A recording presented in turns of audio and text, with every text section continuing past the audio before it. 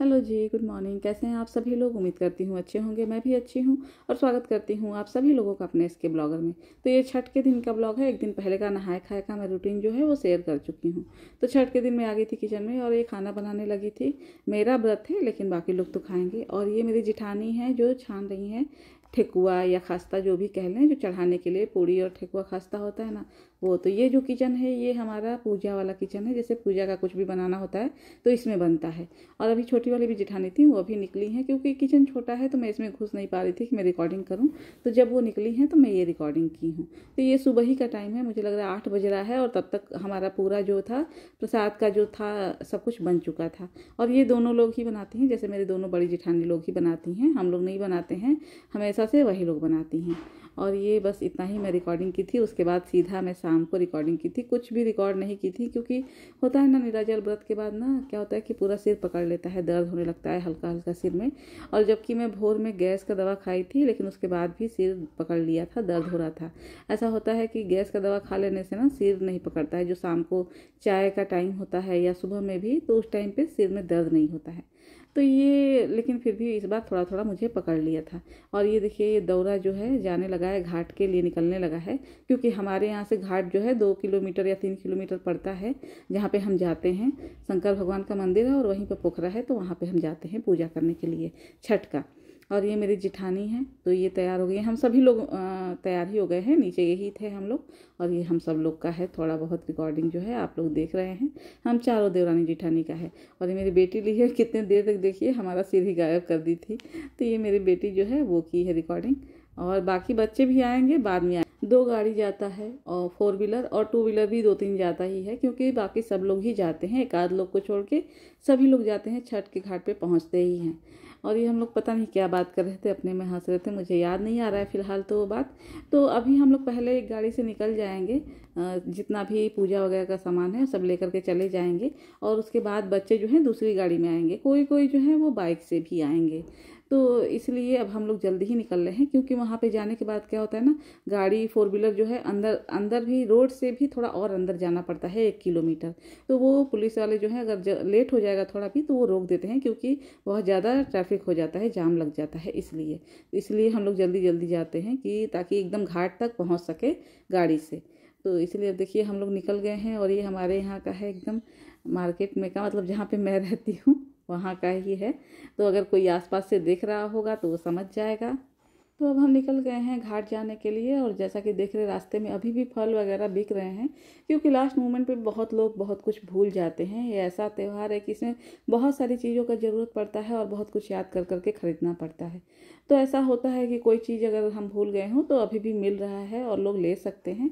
ऐसा नहीं है कि नहीं मिलेगा कोई सामान। और ये अब हम आ गए हैं, जहाँ पे छठ करते हैं, एकदम घाट के पास आ गए हैं, जैसे जो तालाब है, पोखरा है जो, वहाँ पे हम आ गए हैं।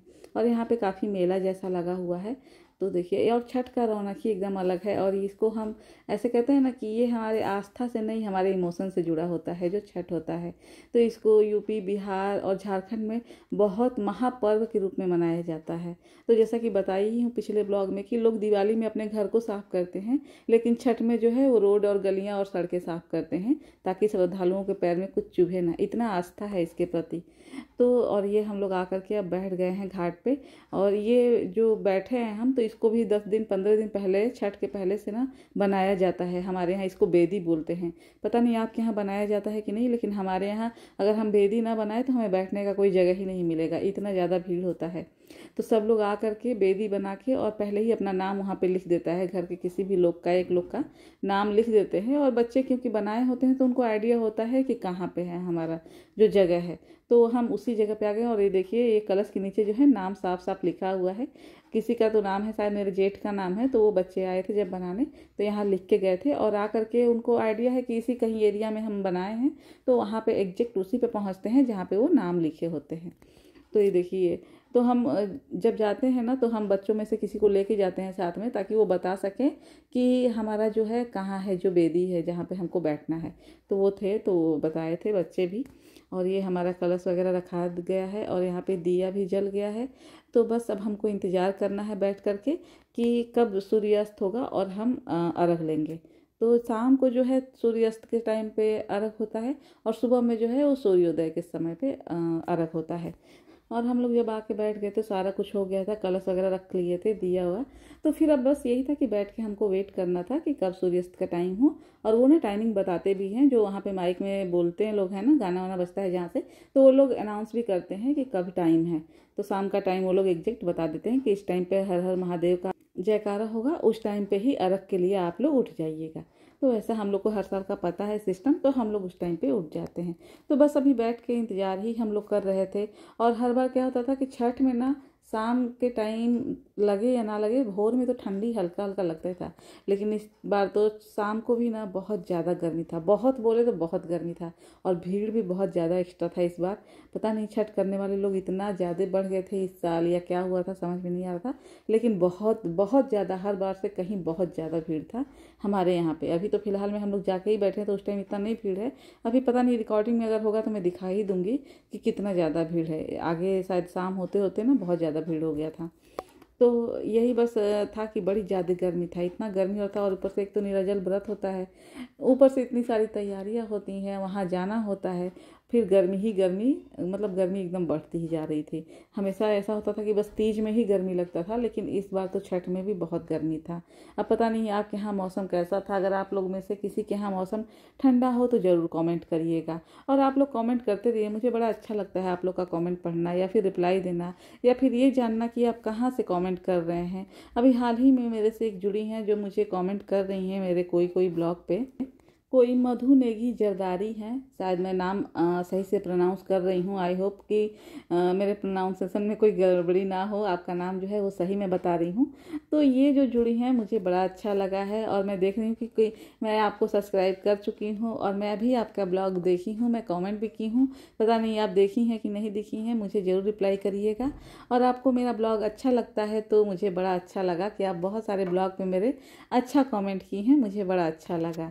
थैंक यू सो मच कि आपको मेरा ब्लॉग अच्छा लगता है। मुझे भी आपका ब्लॉग जो है बहुत अच्छा लगता है। और ऐसे ही मेरे ब्लॉग पे बने रहिए और आप अपने भी एरिया में, अपने भी तरफ़ मेरे ब्लॉग को जो है, जो लोग ऐसे ब्लॉग देखना पसंद करते हैं, उनको आप शेयर कर सकती हैं। और थैंक यू सो मच कि आपको मेरा ब्लॉग जो है अच्छा लगा। तो बस जी, अगर आप लोग भी मेरे चैनल पर नए हैं और पहली बार मेरे ब्लॉग को देख रहे हैं तो मेरे चैनल को सब्सक्राइब करें, मेरे वीडियो को लाइक करिए और बेल आइकन को दबाना ना भूलिए ताकि नोटिफिकेशन आप लोग को मिलता रहे जब भी मैं वीडियो अपलोड करूँ। तो ये अब हम लोग बैठे थे ना तो मेरी जेठानी जो है सबको दे रही हैं खोइछा भरते हैं हमारे यहाँ, शाम को भी और सुबह को भी। मायके में ये नहीं होता है, ये ससुराल में होता है। तो होता है ना कि अपने अपने जगह का पूजा पाठ करने का अपना रिवाज होता है। हर घर का या हर मोहल्ले का अपना रिवाज होता है। तो ये हमारे यहाँ मतलब मायके में भी छठ होता है, लेकिन ये नहीं होता है, शाम को ऐसा खोइछा नहीं भरा जाता है। लेकिन ये ससुराल में मैं आई तो देखी कि यहाँ पर होता है। सिंदूर लगाती हैं मेरी जो जेठानी है, सिंदूर और ऐपन लगाती हैं और उसके बाद मांग भी भरती हैं और फिर ये खोइछा देती हैं। और देखिए शाम धीरे धीरे होता गया है तो यहाँ पे भीड़ भी काफ़ी बढ़ता गया है और इतना भीड़ बढ़ गया था कि लग रहा था कि हमारा दिया ही गिर जाएगा। लोगों को आने जाने के लिए जगह तक नहीं बचा था। और ये सूप है जो हमारे यहाँ का है। तो एक ही सूप से हम सब लोग अर्घ लेते हैं और ये हमारे सास का है। तो ऐसा नहीं है कि हम चार लोग व्रत करते हैं तो चारों लोग का अलग अलग है। पहले भी मैं ब्लॉग में बता चुकी हूँ और ये देखिए भीड़ कितना ज़्यादा है। बच्चे भी बहुत दूर खड़े थे हमसे जो रिकॉर्डिंग ये कर रहे हैं। बीच में बीच में और भी बहुत लोग जो थे ये छठ कर रहे थे हमारे और बच्चों के बीच में। एक एक लोग का पूरा गैप लाइन से पड़ा हुआ था क्योंकि उन लोग का भी जो बेदी है वो बीच में पड़ रहा था। जगह ही नहीं था बच्चों को खड़ा होने के लिए, हमारे पास में जाने के लिए। बड़ी मुश्किल से वो जो है, जब अर्घ लिया जाता है तो बहुत मुश्किल से बच्चे जो है, सुबह में भी और शाम के टाइम भी हमारे तक पहुँचे थे। तो इस तो ये अब हम लोग खड़े हैं, जैसा कि आप लोग देख रहे हैं तो अब सूर्यास्त का टाइम हो गया था।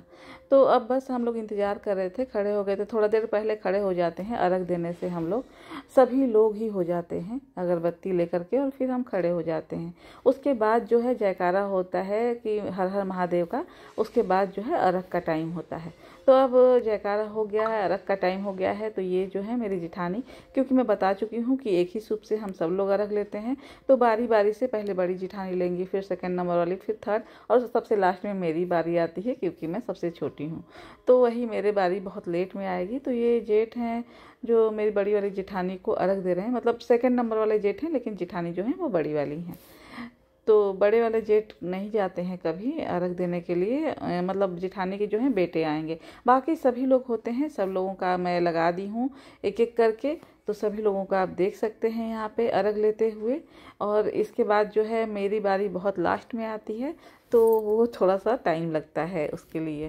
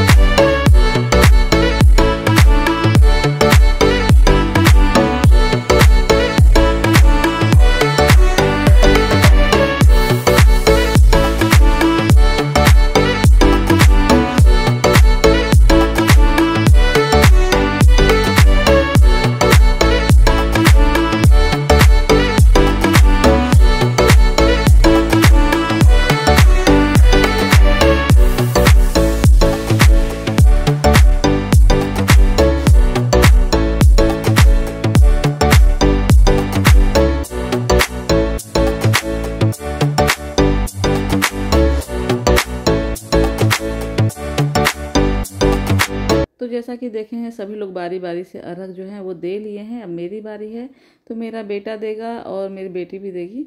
हस्बैंड नहीं है, वो चले गए थे घर, वो सुबह में देते हैं मुझे अर्घ क्योंकि वो दे चुके थे भाभी को, जिठानी को मेरे दे चुके थे अर्घ तो फिर वो घर चले गए हैं। और ये बस अब हम लोग हैं। और लास्ट में मैं ही हूँ और बहुत लोग देखेंगे कि आसपास के लोग जो हैं वो अब जाने भी लगे हैं। तो बहुत जल्दी ही ये पूरा खाली भी हो जाता है। देखिए आसपास कितना अभी थोड़ी देर पहले भीड़ था और अब एकदम खाली हो गया है। क्योंकि हम चार जनों के बाद चौथे में मेरी बारी आती है तो काफ़ी टाइम लग जाता है। उसके बाद बहुत लोग जो हैं जब मैं अर्घ लेती हूँ तो सुबह हो या शाम काफ़ी खाली हो जाता है। ये जो आ, मतलब घाट है। तो सुबह का भी दिखाऊँगी, जब मैं रख लेती हूँ तो काफ़ी खाली रहता है। तो अभी पूरा तो अभी इस टाइम पे पूरा खाली होने लगा है। सब लोग अपने घर के तरफ़ जाने लगे हैं। दौरा वौरा देखिए, पीछे भी उठाए हैं कुछ लोग। और अब जा भी रहे हैं लोग। तो अब बेटी दे रही थी, बेटा दे लिया है मेरा। अरग जो है तो अब बेटी दे रही थी। और अरग से ज़्यादा ये टेंशन है कि फ़ोटो किसका कैसा आया है। तो बस अब यहाँ से अब हम लोग निकलने लगे थे। और उसके बाद क्या होता है ना कि सब लोग मिलके कुछ कुछ वीडियोज़ वगैरह बना रहे थे, फ़ोटो खींच रहे थे। तो ये सब कुछ उसी का तैयारी हो रहा था। कुछ मैं बता रही थी, मुझे भी याद नहीं आ रहा था फ़िलहाल में तो। अच्छा यहाँ पे ना कुछ तैयारी चल रहा था कि स्लोमो बनेगा। तो उसी का कुछ डिस्कशन हो रहा था। तो यहाँ पे स्लोमो बनना भी स्टार्ट हो गया था। और अभी भी हमारे में इतनी एनर्जी बाकी है कि हम ये सब कुछ एक्टिविटी जो है वो कर सकें। तो बच्चों में हम लोग भी मिल गए थे और वो जैसे जैसे कह रहे थे, हम वैसे वैसे स्लोमो जो है वो बना रहे थे। और मैं कुछ बता रही थी कि शायद वहाँ से करना है कि क्या। तो ऐसे ही कुछ चल रहा था हमारा शाम का जो है। और ये बगल में जो देख रहे हैं, ये भी मंदिर है, ये शनिदेव का मंदिर है। तो यहीं पे कुछ ना ये सब लड़कियाँ मिलके कुछ तरह का, कोई तरह का तो बना रही थी स्लोमो। तो ये स्लोमो कम और ना हँसी ज़्यादा आ रहा था हम लोग को। कुछ ज़्यादा ही मज़ाक मस्ती यहाँ पे चल रहा था। तो मैं ये सब कुछ कट नहीं की हूँ, मैं सारा कुछ डाल दी हूँ। नहीं तो चाहती तो ये कट कर देती, लेकिन ना ये एक मेमोरी के तौर पे मैं रखना चाहती थी कि हम लोग इस साल छठ में कितना फ़न किए थे और निराजल व्रत होने के बाद भी। तो ये तो ऐसा कुछ भी था हमारा वहाँ पे और ये दौरा उठा रहा था मेरा बेटा, पहली बार हुआ था। पहले सबसे बड़ी जिठानी के बेटा उठाते थे, फिर सेकंड नंबर वाले जिठानी के। फिर थर्ड नंबर वाले जिठाने के बेटा वो भी लेते हैं, लेकिन अभी पहली बार जो है कि मेरा बेटा दौरा उठाया है इस बार छठ के घाट से। तो उसके बाद हम घर आ गए थे, घर आने के बाद ये पूजा रूम है हमारा। बहुत बार मैं ब्लॉग में दिखा चुकी हूँ आप लोगों को। तो यहाँ पे सारा कुछ फल वगैरह रखा हुआ था, जो चढ़ाने के लिए, जो दौरा जाता है वो सब कुछ यहीं पर रखा हुआ था। तो जो शाम का है, चढ़ गया है, वो अब निकलेगा इसमें से, और जो हमारा खोइछा वोछा का सारा जो है तो इसी में अभी फ़िलहाल में है, वो हम रूम में नहीं लेके जाते हैं। तो वो सब कुछ निकाल के जिठानी अभी रखेंगी और जो नया फल है मतलब दो हिस्से में फल लगता है, एक शाम के लिए अलग होता है, सुबह के लिए अलग होता है, एक ही नहीं फल चढ़ता है दोनों टाइम पे। तो वो पहले ही दो हिस्से में बांट के रखा जा चुका होता है शाम, घर पे ही। तो एक जो शाम को गया है वो घर पे रख देंगे, जो सुबह का है उसको अभी जो जेठानी है भर रही है दौरे में। और ये मेरा बिछिया और पायल जो कि मैं नहीं दिखाई थी तो वो भी रिकॉर्ड कर ली हूँ आप लोगों तक शेयर करने के लिए। और ये बहुत तरह के लाइट रूम में जल रहे हैं ना तो ये कई तरह का लाइट इसमें दिख रहा है पैरों पे मेरे। और ये सुबह का टाइम है। सुबह का मुझे लगा चार या साढ़े चार हो गया था। सभी लोग तैयार हो गए थे और अब हम लोग निकल रहे हैं भोर में जाने के लिए घाट पे। तो ये जेठानी लोग हैं। अभी एक जेठानी और आएँगी और बस उसके बाद हम निकल जाएँगे। और इतना अच्छा लगता है ना छठ का ये त्यौहार। बड़ा ही इंतज़ार रहता है हम लोगों को। व्रत रहे उसका कोई मतलब नहीं है, लेकिन हमें इंतज़ार होता है। और ये फिर हम पहुँच गए हैं वहीं घाट पर तो ये रास्ते का है जहाँ पे बताती हूँ ना कि जाम लग जाता है। तो ये वहीं का है। तो बस अब छठ के घाट हम लोग पहुँचने ही वाले हैं। मैं बताई हूँ कि रोड से थोड़ा सा एक किलोमीटर अंदर जाना पड़ता है, तब जाके ये पोखरा और शंकर जी का मंदिर जो है यहाँ पे वो आता है। और उसके बगल में ही गंगा जी भी हैं। तो लेकिन हम लोग जो ये छठ है, वो तालाब पे ही करते हैं। जो पोखरा है, ये जैसा कि आप लोग देख रहे हैं, वहीं पे करते हैं। और ये सूर्य भगवान का जो यहाँ पे लगा हुआ है मूर्ति, ये हर साल लगता है। तो अब यहाँ पे भोर में हम लोग आ गए हैं। और ये देखिए, ये बहुत लोग कोसिया भी भरते हैं। तो कोसिया को ना तो कहते हैं कि कोसिया मतलब कोई कोई तो घर है जो हर साल भरते हैं उनके घरों में, लेकिन कहीं कहीं क्या होता है ना कि मन्नत होता है, जैसे कि हमारा ये काम हो जाएगा या वो काम हो जाएगा तो हम कोसिया भरेंगे, या फिर बेटा होता है या शादी होता है, तब भरा जाता है। तब कंपल्सरी हो जाता है, जैसे बेटा हो या शादी हो तो लेकिन ऐसे कोई मन्नत का भी अपना कोसिया भरता है। तो बहुत लोग ऐसे भी हैं जो कोसिया भरे हैं, और कोसिया को ना इसमें घर नहीं ले जाया जाता है, उसमें फल और मिठाई वगैरह कर करके जो ठकुआ वगैरह है तो उसमें पानी में उसको बहवा दिया जाता है, जो जहाँ पे भी हम छठ करते हैं। तो वो भी कोई ना कोई ले ही लेता है। और उसके बाद हम चले गए थे मंदिर, जो शंकर जी का मंदिर है। तो ये शंकर जी का है तो श्रृंगार हो रहा था, उनका साफ़ सफ़ाई हो रहा था तो हम बाहर से ही दर्शन किए थे। इसीलिए मैं बाहर ही खड़ी थी तो वहीं से थोड़ा सा रिकॉर्डिंग कर ली थी। और ये रहा शंकर जी का मंदिर, ये जहाँ पर हम लोग आए हैं छठ करने के लिए। तो वहीं पास ही में मंदिर है। तो हम लोग वहाँ पर बिठा के बच्चों को, बच्चे तब तक आ गए थे घर से तो बिठा करके और उसके बाद आ गए थे शंकर जी का मंदिर। और बहुत यहाँ पर भीड़ था, क्योंकि यहाँ पर आरती का और उनके सिंगार का टाइम हो गया था साफ़ सफ़ाई का। तो फिर हम को अंदर तो जाने को नहीं मिलता है शिवालय में। हम बाहर से ही दर्शन करके और उसके बाद पूरे भगवान, कई भगवान लोगों का और भी मंदिर है इसमें छोटा छोटा वहाँ पर भी दर्शन करते हैं और उसके बाद फिर आ जाते हैं हम अपने घाट पर जहाँ पर हमारा बना हुआ था। जगह था ना जो हमारा छठ करने का, हम वहाँ पे आ गए थे। उसके बाद मांग भरते हैं तो आज जो सुबह का टाइम होता है, सुबह के टाइम पे नाक के यहाँ से सिंदूर पहनाया जाता है। और नाक के यहाँ से सिंदूर पहनाने का भी एक शायद है, कुछ इसका भी मान्यता है। सुनते हैं, जितना लंबा सिंदूर पहनाते हैं पति का जो आयु है, उतना ही बढ़ता है। ऐसा मान्यता है। तो सुबह के टाइम पर नाक के यहाँ से सिंदूर पहनना ज़रूरी होता है। तो हमारे यहाँ ऐसा पहनाया जाता है। और जो बड़ी चिठानी है, उनको छोटी चिठानी जो है, वो पहना रही हैं। सिंदूर इतना नाक से कर रही हैं। और फिर उसके बाद सबका जो मांग भरेंगी, वो बड़ी जिठानी करेंगी और खोइछा भर देंगी। तो अब बस वो जो शाम को मैं दिखाई थी सारा कुछ, वो सब कुछ यहाँ अभी इस टाइम पे होगा सुबह में भी। और ये और ना ये जो ब्लॉग है ना, मैं क्या बताऊँ, इतना लंबा हो गया है ना, मैं इसको कितना देर से मतलब वॉइस ओवर कर रही हूँ, मैं बहुत देर से कर रही हूँ। इतना लंबा ऐसे मेरा ब्लॉग होता नहीं है, लेकिन ये इतना लंबा हो गया और बहुत ज़्यादा मैं यकीन मानिए बहुत इसमें कट कर दी हूँ, बहुत कुछ एडिट कर दी हूँ। इतना लंबा था ना ये ब्लॉग कि मैं क्या बताऊँ, एक एक चीज़ मैं रिकॉर्ड कर, करके रखी थी, मेरे गैलरी जो है वो फुल हो गई थी। फिर मैं बहुत कुछ डिलीट की, बहुत कुछ इसमें भी एडिट कर दी, क्योंकि ना जब रिकॉर्डिंग करते हैं तो सब कुछ अच्छा लगता है, ये भी मूवमेंट रिकॉर्ड करूँ, वो भी करूँ। लेकिन जब हम एडिट करने बैठते हैं तो पता चलता है कि काफ़ी कुछ सेम टू सेम लग रहा है। फिर उसको कट करना पड़ता है। जैसे कि जब अर्घ लेने का था तो मैं सबका शॉर्ट्स के लिए भी ली थी रिकॉर्डिंग की थी और ब्लॉग में डालने के लिए भी की थी। और वो जब सब डाल दी थी तो यकीन मानिए ये पूरा एक घंटे का ब्लॉग था जिसको मैं थर्टी टू मिनट का की हूँ। सब कुछ कट करने के बाद तो आप समझ सकते हैं कि कितना ज़्यादा मैं कट की हूँ इसमें। तो अभी उसके बावजूद भी ये थर्टी टू मिनट का है और थर्टी टू मिनट कंटिन्यू बोलना है आसान नहीं है, बहुत मुश्किल है। और वो भी तब जबकि बहुत कुछ सोच सोच के बोलना पड़ता है, समझाना पड़ता है एक एक चीज़ को। तो इसलिए ये बहुत लंबा ये ब्लॉग जो है वो हो गया है। और यहाँ पे सब लोग फ़ोटो खींच रहे थे तो वही कुछ बात हुआ था तो उसी पे हँसी मज़ाक चल रहा था। अब ये सेकंड नंबर वाली जिठानी का हो गया है, अब तीसरे नंबर वाली जिठानी का होगा, उसके बाद मेरी बारी आएगी। तो ये देखिए, ये सिंदूर लगाती हैं और जो ऐपन है, प्लेट में है जो, वो ऐपन है। तो वो लगाएँगी और ये आंचल पे लगाया जाता है, पल्लू पे। उसके बाद ये आंचल भरा जाता है। अच्छा हमारे यहाँ यूपी और बिहार में ना खोइछा का रिवाज है। आप लोग कहाँ से देख रहे हैं? आप लोग के यहाँ भी ये रिवाज होता है कि नहीं? हमारे यहाँ जो बेटियाँ हैं या बहुएँ हैं मायके ससुराल से खाली हाथ नहीं जाती। कहीं ना कहीं ये अभी जब मैं देखी हूँ खोइछा भरते हुए तो मुझे वो याद आ गया है। इसको भी यही कहते हैं कि खोइछा भरना। जो ये छठ में दिया जाता है, फल और ये सिंदूर लगाया जाता है तो इसको खोइछा भरना ही कहा जाता है। और हमारे यहाँ ये रिवाज है कि जब बेटी और बहुएँ मायके से या ससुराल से जाती हैं या आती हैं तो उनको खोइछा दिया ही जाता है। कहते हैं ना, खाली खोइछा बेटियों का या बहुओं का विदाई नहीं होता है। इसका सेंस ये भी, और उसमें खोइछा में होता क्या है? चावल होता है, हल्दी होता है, दूध, और उसमें जो भी पैसा या तो सवा रुपया, पाँच रुपया, ग्यारह रुपया, इक्यावन रुपया, इक्कीस रुपया, जितना जिसके पास क्षमता है, वो दे सकता है अपनी बेटियों को या बहुओं को।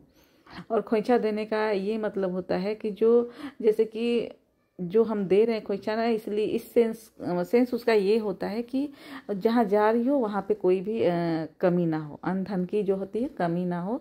बेटियाँ खाली खोइछा नहीं जानी चाहिए। ऐसा कुछ मान्यता है। तो वही ये खोइछा जो है, भरा रहा था तो मुझे याद आ गया है कि हमारे यूपी बिहार में बड़ा ही ये बहुत ही ये रिवाज जो है ज़रूरी में है। ये एकदम ज़रूरी में है। खाली खोइछा बेटी बहुएँ जो हैं, मायके या ससुराल से आ जा नहीं सकती हैं। तो ये एकदम ज़रूरी है। तो ये अब मेरी बारी आ गई और मुझे खोइछा भर के और ये सिंदूर लगा रही हैं जो जेठानी है मेरे लिए। अच्छा क्या होता है हर बार ना कि हर बार छठ कब आया, कब चला गया, पता नहीं चलता है, क्योंकि मौसम बहुत अच्छा होता है, ठंडा होता है। लेकिन इस बार जैसा कि बताई हूँ पहले कि गर्मी जैसा था और काफ़ी गर्मी भोर में भी लग रहा था, जबकि भोर में ना मौसम काफ़ी ठंडा होता है और अब इस टाइम भी ठंडा हो गया है, लेकिन उस दिन काफ़ी गर्मी लग रहा था। या तो फिर भीड़ बहुत ज़्यादा था, इसलिए भी गर्मी लग सकता है तो इसलिए उस दिन बड़ा ही पता चल रहा था। और जब सुबह हो गया ना तो उस टाइम थोड़ा थोड़ा प्यास जो है, वो पता चलने लगा था। और अभी आप थोड़ी देर में देखेंगे कि चेहरे पर सबके जो है वो थोड़ा सा आ, मतलब सूखापन चेहरे पे आ गया था। सभी लोगों का चेहरे से पता चल रहा था कि अब मतलब कि प्यास भूख तो नहीं लगता है लेकिन प्यास थोड़ा थोड़ा लगना स्टार्ट हो गया था, लेकिन हर बार ऐसा नहीं होता है। हर बार छठ का पता नहीं चलता है, जैसे कि ये व्रत जो है।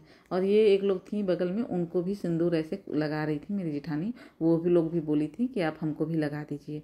तो होता है ना, छठ को कहते हैं ना कि बहुत ही मान्यता है इसका, बहुत ही महापर्व के रूप में मनाया जाता है। तो इसको जो लोग छठ नहीं करते, वो भी काफ़ी मानते हैं। जो करते हैं, उनके घर में तो सब होता ही है, लेकिन जिनके घर में नहीं होता, वो भी घाट पे जाते हैं और वो भी ये सारे रिचुअल्स जो हैं, वो देखते हैं समझते हैं और इसको निभाते भी हैं जहाँ तक हो सके। तो वो लोग भी हम लोग को जब देखी, ऐसे मांग भरते हुए तो वो लोग भी मेरे जेठानी से बोले कि भर दीजिए। और ये देखिए टाइम दिखा रही है बेटी। तो टाइम हो गया है पाँच बज के बावन मिनट। और जो अरग का टाइम था तो वो शायद पाँच, बीस या पच्चीस का था कि पैंतीस का। ऐसा ही कुछ टाइमिंग था। और ये अब हम लोग खड़े हो गए हैं। क्योंकि दस या पंद्रह मिनट पहले या आधा घंटा पहले खड़े हो जाते हैं तो अब ये जैसा देख रहे हैं आप लोग कि हमारा जो फेस है, वो जो सूर्य उदय होता है, उस तरफ़ है। अच्छा जिस दिन ये ब्लॉग जाएगा, उस दिन जो है वो देव दीपावली है। तो आप सभी लोगों को देव दीपावली की हार्दिक शुभकामनाएँ, भगवान आपकी सारी मनोकामनाओं को पूर्ण करे, और साथ में मेरे भी। तो बस ये चलिए अब आगे बढ़ते हैं। और ये अब हम अगरबत्ती रख दिए हैं जो जलाए थे। और दिया अब दिखा लिए हैं। दिया दिखाने के बाद अब बहुत जल्दी अर्घ का टाइम होने वाला है। तो बस अब ये लास्ट ही है जो पूजा है। और देखते ही देखते इस साल का भी छठ का महापर्व है, वो बीत ही जाएगा। और थोड़ा थोड़ा सूर्य का जो लालिमा है, वो दिखने लगा है। तो बस अब सूर्य भगवान थोड़ी ही देर में पूरी तरह से दिखने लगेंगे। और मैं कभी भी वॉइस ओवर करूँ और मेरे वॉइस ओवर में जो है, ये मतलब बाहर का आवाज़ ना ऐसा हो ही नहीं सकता है। तो ये आप लोगों को भी अब तक तो आदत पड़ गया होगा कि ऐसे ही तार, तोड़, धार, तोड़, आवाज़ जो है वो आते रहते हैं कुछ ना कुछ। तो मैं वैसे ही वॉइस ओवर मुझे करने का अब आदत हो गया है और मुझे लग रहा है आप लोग को भी वैसे ही मेरा ब्लॉग देखने का भी आदत हो गया है। अच्छा कौन कौन मुझे कहाँ से देख रहा है वो ज़रूर कमेंट करें। और आप लोगों को मेरा जो ये महापर्व का जो ब्लॉग है, इतना लंबा तो आप लोग अगर देख लिए हैं तो आप लोगों को कैसा लगा, ये ज़रूर कमेंट करें। और थोड़े थोड़े जो है, ये सूर्य भगवान दिखने लगे हैं यहाँ पे तो ये भी मेरे ब्लॉग में जो है कैप्चर हो गया है। और उसके बाद जो है, हर हर महादेव का नारा जो लग जाता है, उसके बाद अरग का टाइम हो जाता है। तो ये अरग भी सेम जैसे शाम को हुआ था, वैसे ही सुबह में टर्न वाइज होता है। लास्ट में मेरी बारी आएगी रहेगी आप लोग देखते रहिएगा, बने रहिएगा और पूरा ब्लॉग ज़रूर देखा करिए। बीच बीच में कट करके या स्किप करके मेरे ब्लॉग को ना देखिए। पूरा ब्लॉग बहुत मेहनत लगता है, बहुत टाइम लगता है। इसमें बहुत ज़्यादा टाइम और मेहनत जाता है जो भी ब्लॉग बनाता है सबको पता है। तो इसलिए हमारे मेहनत को थोड़ा सा अप्रिसिएट करिए आप और ना इसको आप पूरा देखिए। और फिर हमको कोई बेनिफिट नहीं होगा अगर आप पूरा ब्लॉग मेरा नहीं देखेंगी तो क्योंकि कुछ भी इसमें बनेगा ही नहीं। मेरा कुछ भी अर्निंग नहीं होगा अगर आप लोग नहीं पूरा तो। कम से कम दस या पंद्रह ये थर्टी टू मिनट का है तो कम से कम पंद्रह या सोलह मिनट आप लोग को देखना पड़ेगा कंटिन्यू तब जाके मेरा कुछ इसमें बन पाएगा। इसलिए, और मैं अगर इतना मेहनत कर रही हूँ और व्रत में भी आप लोग तक ये पूरा ब्लॉग पहुँचाने की कोशिश कर रही हूँ तो कहीं ना कहीं मुझे भी कुछ उसका बेनिफिट मिलना चाहिए। मैं आप लोगों तक ये पूरा शेयर कर रही हूँ। तो आप लोग कोशिश करें कि मेरा इसमें आप लोग थोड़ा सा सहयोग कर सकें। और फिर ये जो चैनल है, मैं बहुत ही मज़ाक मज़ाक में बना ली थी। मुझे मालूम नहीं था कि मैं कंटिन्यू इतने सालों तक इस पर रह पाऊँगी या इतना आगे तक भी मैं जा पाऊँगी। मैं कभी भी इतना नहीं सोची थी, लेकिन हाँ फिर मैं करती गई, मुझे इंटरेस्ट आता गया तो फिर मैं इसमें आगे भी बढ़ती गई। और आप लोगों का प्यार सपोर्ट बहुत ज़्यादा इसमें रहा है, जिनको मैं कभी नहीं देखी हूँ। शायद आप तो मुझे देख रहे हैं, जितने भी मेरे सब्सक्राइबर हैं या व्यूवर्स हैं। मैं तो आप लोग को नहीं जानती हूँ पर्सनली लेकिन आप मेरे ब्लॉग के थ्रू मेरे बारे में कुछ तो जानते हैं। मैं आप लोग के बारे में कुछ भी नहीं जानती। लेकिन फिर भी मैं ये जानती हूँ कि आपके सपोर्ट के बिना मैं यहाँ तक नहीं पहुँच सकती थी। तो आप लोगों का सपोर्ट और प्यार ही है जो मैं यहाँ तक पहुँची हूँ। नहीं तो मैं जैसा बता रही हूँ कि मैं बिल्कुल भी नहीं सोची थी कि मैं इतने आगे तक जाऊँगी। मुझे तो ना रिकॉर्डिंग करने आता था, ना ही बात करने आता था। मुझे याद है अपना वो पहला ब्लॉग, जो कि मैं रिकॉर्ड करने की कोशिश करती थी, लेकिन मुझसे होता ही नहीं था। क्योंकि मैं इसके पहले कभी भी फ़ोटो ही क्लिक की थी अपने मोबाइल से। कभी मैं रिकॉर्डिंग की ही नहीं थी। ब्लॉग तो बहुत दूर की बात है। तो मुझे रिकॉर्डिंग भी नहीं आता था। लेकिन हाँ ये आप लोग का प्यार और सपोर्ट ही है, जो मैं अब इतने आगे तक पहुँची हूँ। और आगे इसके और भी जाना है मुझे। ये तो अभी स्टार्ट है मेरा जो सफ़र है। अभी इसके आगे न जाने कितने आगे तक मुझे जाना है। और तो ये अब सब लोग अर्घ दे चुके हैं और मेरे अब हस्बैंड की बारी है मतलब मेरी बारी है अर्घ लेने की। और जैसा कि आप लोग आस पास देख रहे होंगे, पीछे बैकग्राउंड में पूरे लोग खाली हो चुके हैं, सब लोग जा चुके हैं। ऑलमोस्ट बहुत कम लोग जो फ़ोटो वोटो खिंचाने के लिए रहते हैं या प्रसाद वसाद देने के लिए रहते हैं, वही लोग अर्घ लेने वाला कोई नहीं होगा। बस मैं लास्ट बचती हूँ सुबह में और शाम में अर्घ देने के लिए। अब मेरे हस्बैंड दे चुके हैं, बेटा देगा, उसके बाद बेटी देगी। तो बस अब मैं लास्ट वाली हूँ, यहाँ पे पूरे घाट पे अर्घ लेते हुए। और इसके बाद अभी बहुत सारा आप लोग को आवाज़ आ रहा होगा सिटी का तो किसी के आने का तो किसी के जाने का, लेकिन अब मैं क्या करूँ? मुझे कैसे भी आज ये ब्लॉग जो है अपलोड करना ही करना है। और ये क्योंकि मैं शाम के टाइम पे एकदम वॉइस ओवर कर रही हूँ तो किचन में अब खाना भी बन रहा है जिठानी लोग का तो कुकर के सीटी वगैरह का भी आवाज़ आता रहेगा आप लोगों को तो वो थोड़ा सा आप लोग मैनेज कर लीजिएगा। और अब देखते ही देखते देखिए ये पूरा छठ का जो महापर्व है, वो बीतने ही वाला है, बस कुछ देर का है और उसके बाद एक साल तक अब यही मनाएँगे कि छठ माता ये पूरा साल बहुत अच्छे से बिताएँ और सभी लोगों के लिए, सभी लोगों के लिए सबको अच्छे से अपने परिवार के साथ हँसी खुशी रखें ताकि अगला साल हम फिर ये छठ का पर्व जो है महापर्व वो मना सकें।